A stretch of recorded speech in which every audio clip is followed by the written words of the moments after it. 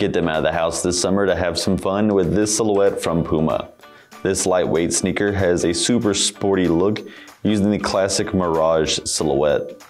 It has a textile and synthetic upper, keeping it very durable and colorful with some mesh panels to make the inside very breathable. It features little decals of burgers, pizzas, and fries throughout, showing off a cool food style, using an external heel counter in the back for the perfect fit. The easy lace-up is going to make sure it feels just right, and there's lots of padding on the inside that has thick foam around the collar, especially for support in the ankle. The footbed has extra cushioning as well to make sure it's cushiony and responsive, while the midsole has a shock absorbent and bouncy feel. The outsole is made with non-marking rubber, keeping it super sturdy and reliable, along with a bit of flex there in the toe.